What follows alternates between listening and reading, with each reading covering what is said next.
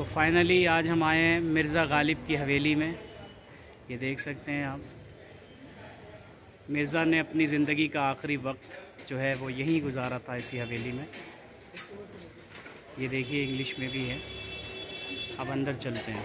ये इसकी एंट्री है।